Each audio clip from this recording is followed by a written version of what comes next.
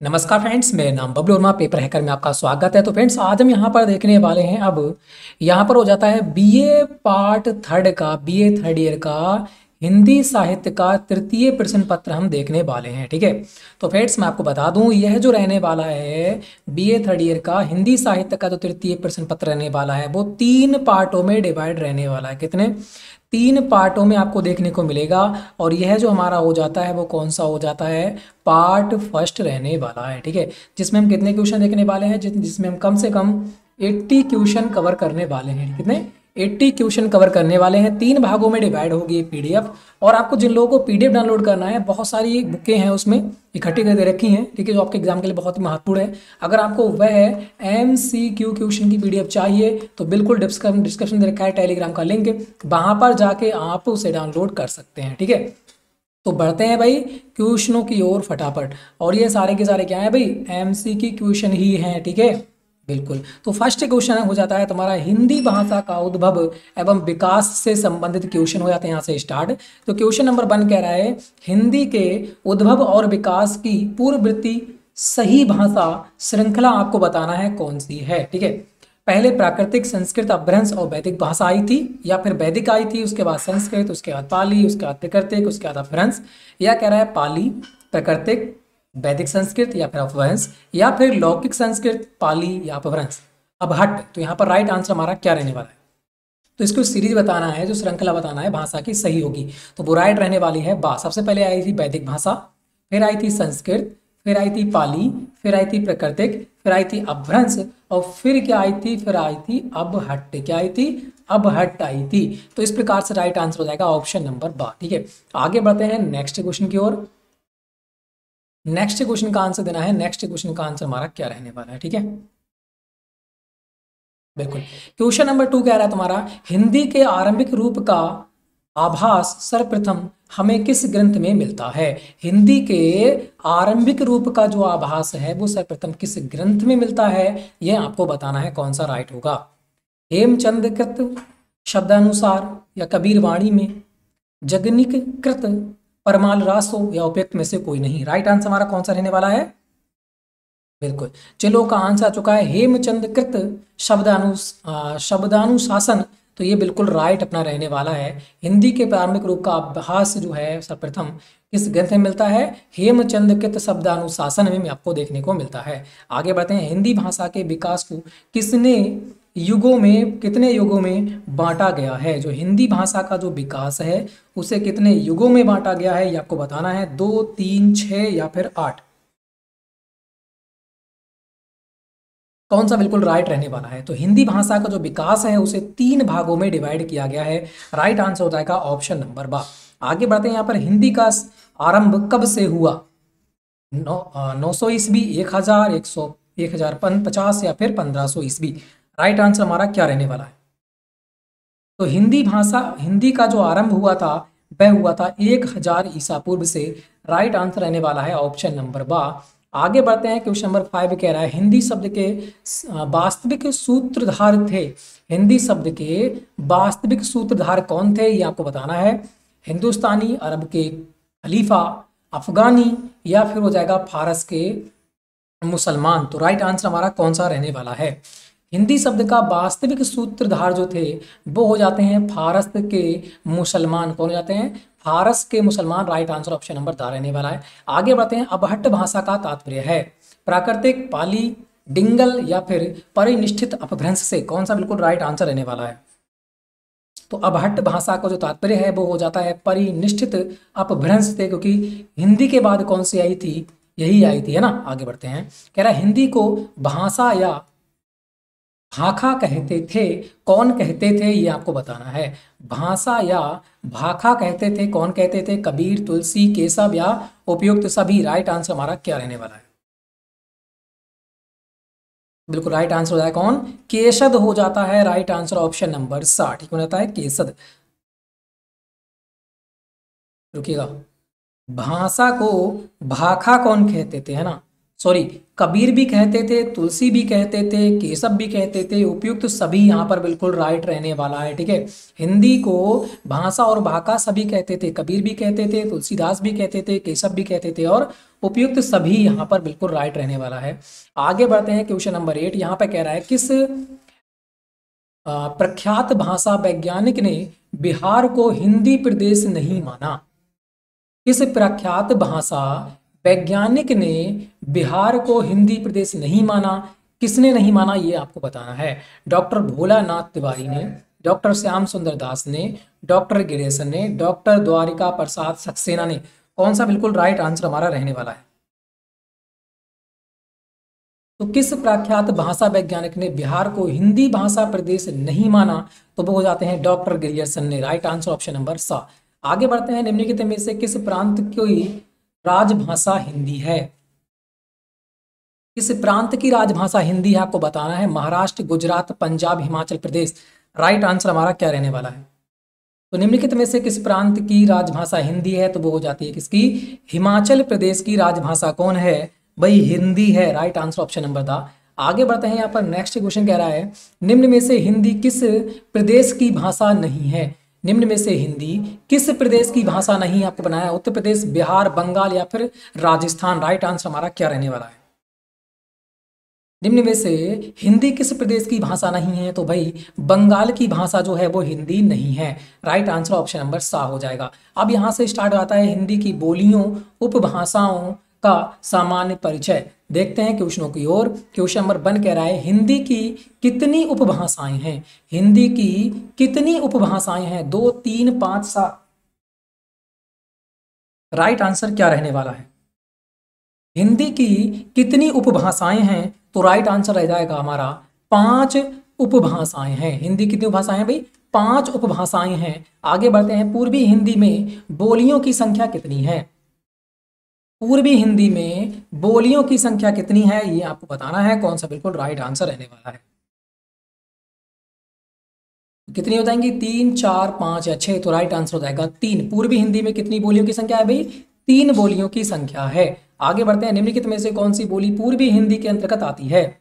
तो पूर्वी हिंदी के अंतर्गत कौन सी बोली आती है, ये आपको बताना है। ब्रजभाषा, अवधि, खड़ी बोली या फिर जादू, यहाँ पर कौन सा बिल्कुल राइट होगा?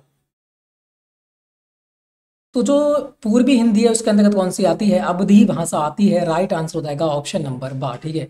आगे बढ़ते हैं next question question number four कह रहा है, अवधि भाषा किस, अवधि भाषा का विकास किस अपभ्रंश से हुआ है? अवधि भाषा का विकास किस अपभ्रंश से हुआ है? ये आपको बताना है। सौर सैनी मागधी, अर्धमांगधी, इसमें से कोई नहीं।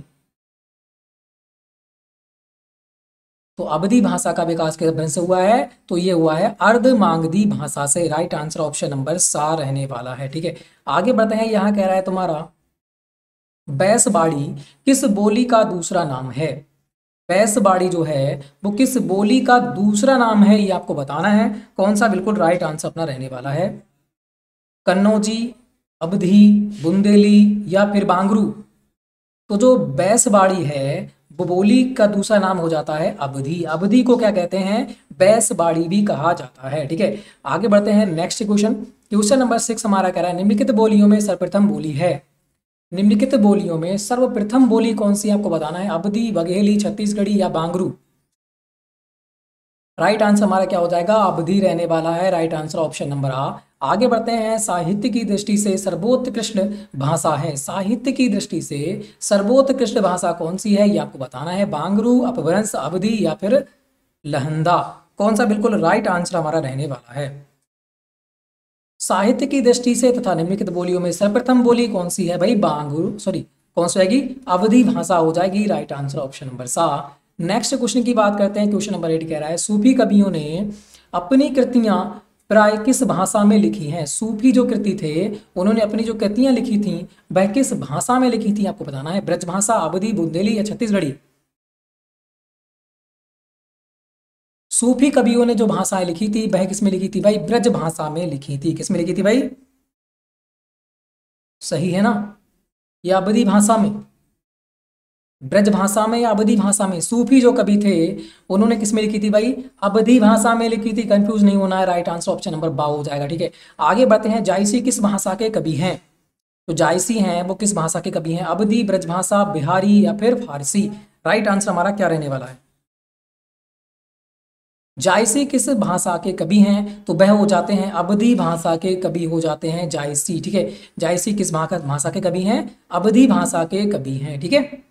आगे बढ़ते हैं। यहाँ कह रहा है, जायसी ने अपना महाकाव्य पद्मावत किस भाषा में लिखा है? जायसी ने अपना महाकाव्य जो है, पद्मावत, वो किस भाषा में लिखा है? ये आपको बताना है, कौन सा बिल्कुल राइट रहने वाला है, ठीक है? किधर गया भाई? यहाँ पे जायसी ने अपना महाकाव्य पद्मावत किस भाषा में लिखा है? ये आपको बताना है, मैथिली, ब्रजभाषा, अवधि या फिर बुंदेली। कौन सा यहाँ पर बिल्कुल राइट आंसर हमारा रहने वाला है? तो यहाँ पर कौन सा राइट हो जाएगा भाई? जायसी किस भाषा के कवि हैं? जायसी हैं। अवधि भाषा के कवि। तो उन्होंने जो पद्मावत है उनकी, जो उस महाकाव्य किसमें लिखा होगा? अवधि ही भाषा में लिखा होगा। राइट आंसर ऑप्शन नंबर सा। आगे बढ़ते हैं। अवधि भाषा का प्रथम महाकाव्य कौन सा है? अवधि भाषा का प्रथम महाकाव्य कौन सा है? आपको बताना है। रामचरितमानस पद्मावत आखिरी कलम। आखिरी कलाम या फिर उपयुक्त में से कोई नहीं। राइट आंसर हमारा क्या रहने वाला है? तो जो अवधि भाषा का जो प्रथम महाकाव्य है, वो हो जाता है पद्मावत, किसका? जायसी का। आगे बढ़ते हैं नेक्स्ट क्वेश्चन को देखिएगा। नेक्स्ट क्वेश्चन का आंसर हमारा क्या रहने वाला है? नेक्स्ट क्वेश्चन कह रहा है यहाँ पर। इधर गया। अरे ये खो गई भाई।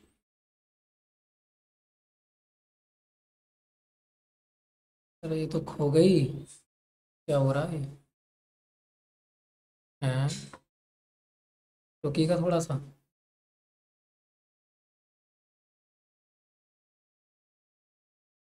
हाँ तो भी क्वेश्चन हमारा कहाँ तक था? यहाँ पे था, अवधि भाषा का प्रथम महाकाव्य कौन सा है? ये अपना हो जाएगा पद्मावत।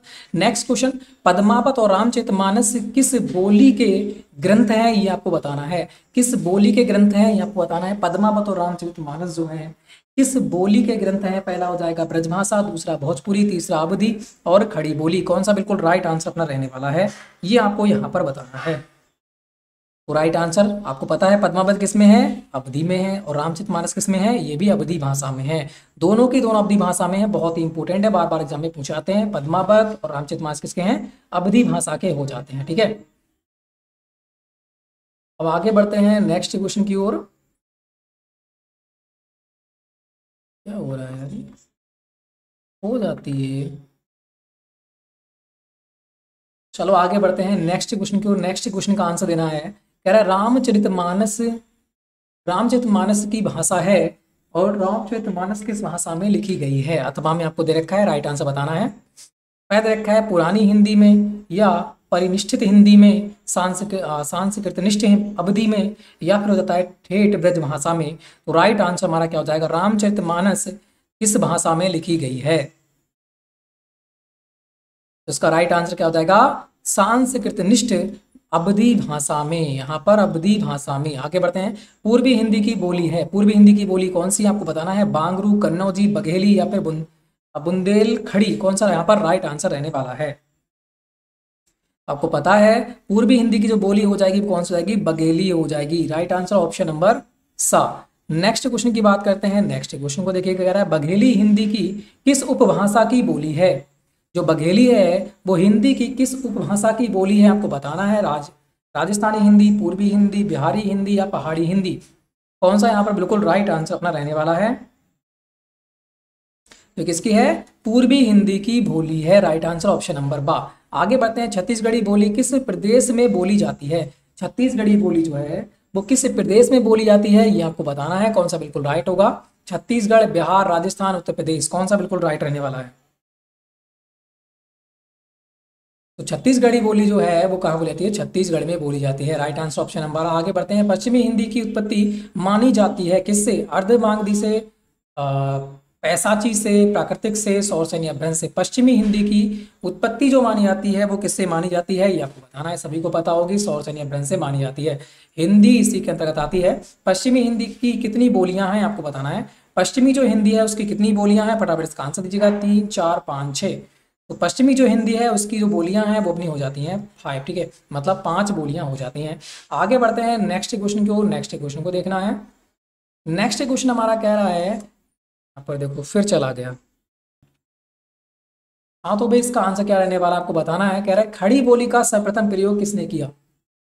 खड़ी बोली का सर्वप्रथम प्रयोग किसने किया? लल्लू लाल ने इंशाल्लाह खान ने आ, सदल मिश्र ने या फिर अमीर खुसरो ने? राइट आंसर हमारा क्या रहने वाला है? तो खड़ी बोली का सर्वप्रथम प्रयोग किसने किया था? अमीर खुसरो ने किया था right answer option number D. आगे बढ़ते हैं, खड़ी बोली के प्रथम चार लेखक हैं। कौन कौन है? ये आपको बताना है। सदल मिश्र इंशाल्लाह खां सदा सुखलाल लल्लूलाल हातन हरिचंद बाल कृष्ण भट्ट लल्लूलाल सदा मिश्र।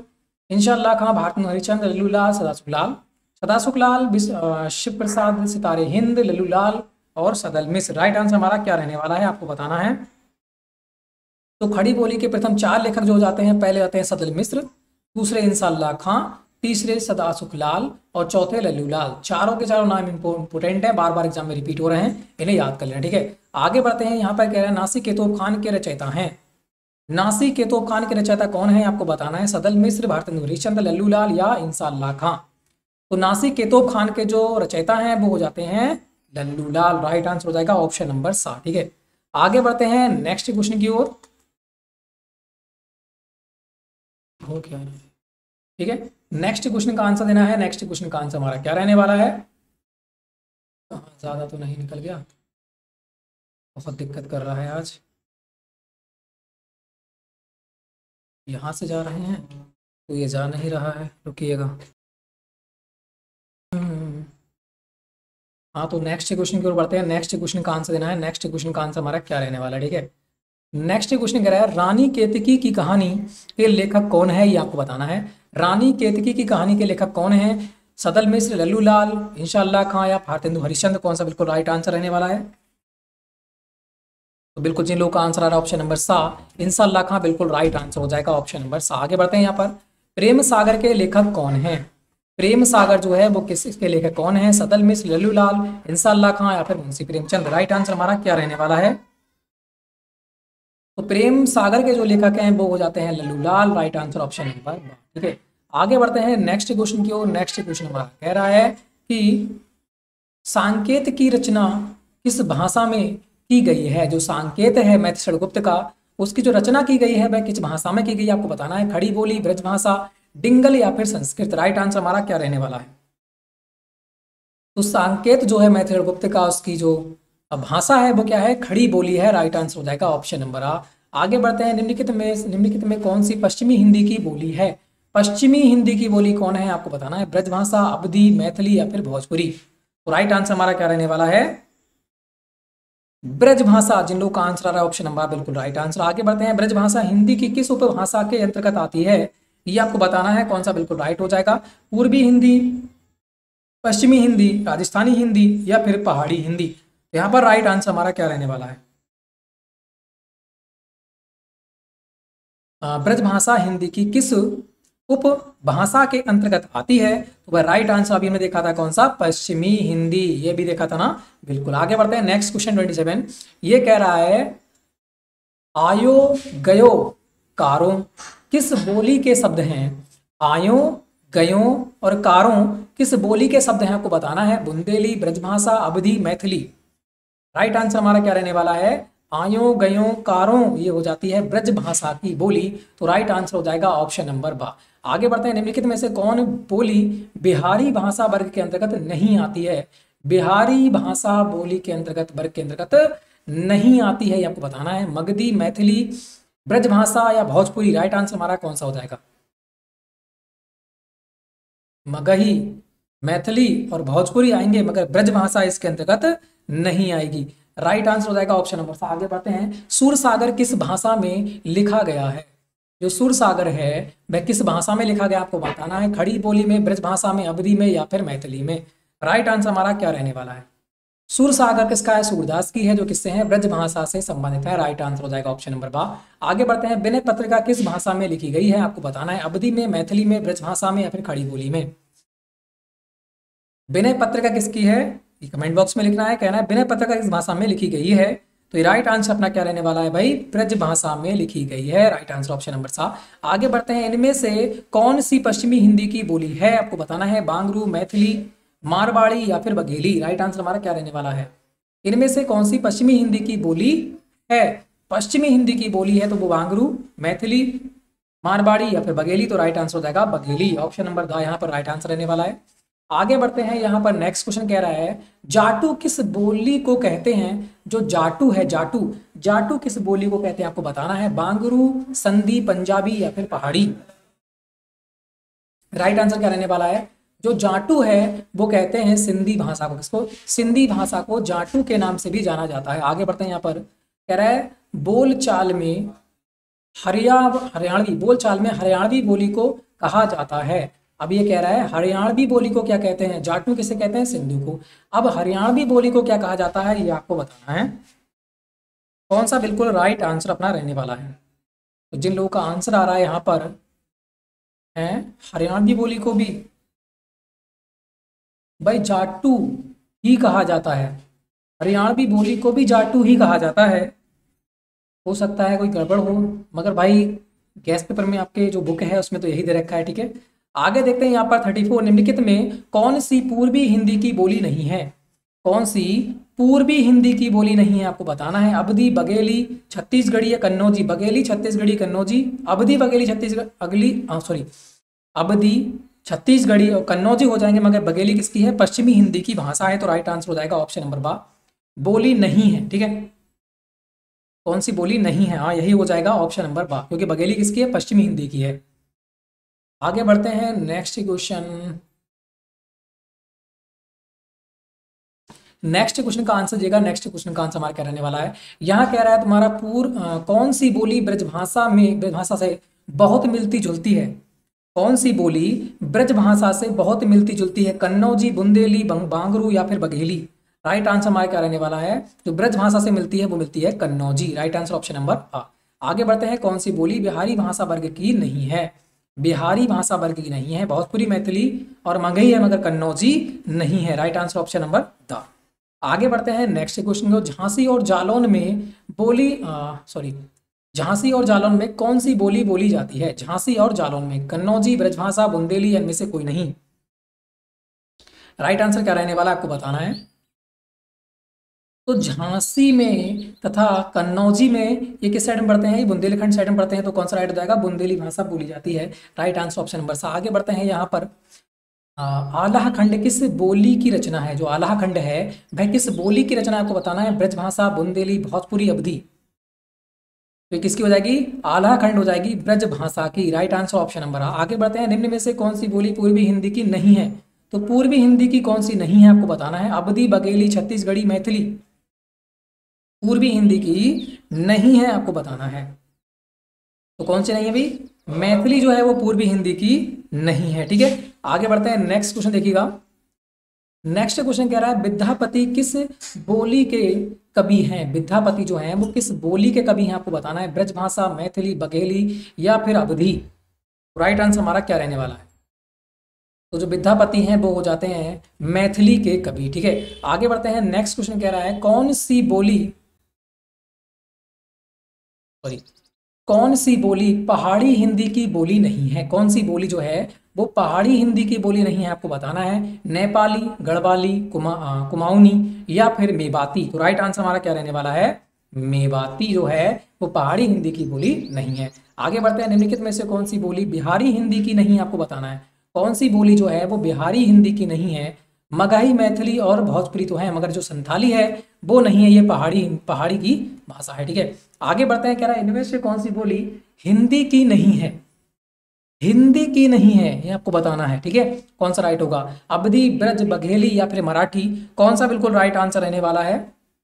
तो अवधि है, ब्रज है, बघेली है, मगर जो अपनी मराठी है वो इसकी नहीं है। आगे बढ़ते हैं, यहाँ पर लास्ट क्वेश्चन उत्तर प्रदेश में प्रमुख रूप से कितनी बोलियाँ बोली जाती हैं? उत्तर प्रदेश में प्रमुख रूप से कितनी बोलियाँ बोली जाती हैं? आपको बताना है। दो, तीन, चार छः कौन सा बिल्कुल राइट होगा? तो उत्तर प्रदेश में प्रमुख बोलियाँ बोली जाती हैं, वो बोली जाती हैं चार बोलियाँ। राइट आंसर ऑप्शन नंबर सा हो जाएगा। तो यहाँ पर आपके एमसीक्यू का फ़र्स्ट पार्ट जो होता है, कौन सा? पार्ट जो फ़र्स्ट होता है, वो कंप्लीट होता है। इसमें मैंने सिर्फ़ आपको साठ ही क्वेश्चन दे पाया हूँ, क्योंकि फ्रेंड्स यहाँ पर थोड़ी सी प्रॉब्लम हो रही है, ठीक है? नेक्स्ट दो पार्ट आपको और मिलेंगे। पार्ट कितने मिलने वाले हैं? पार्ट आपको थर्ड में सेकंड मिलेगा और कौन सा मिलने वाला है? थर्ड मिलने वाला है, जिसमें आपको थर्ड जो है, वो कंप्लीट हो जाएगा, ठीक है? तो फ्रेंड्स लाइक करना शेयर करना चैनल को सब्सक्राइब करना। तो फ्रेंड जय हिंद, जय भारत।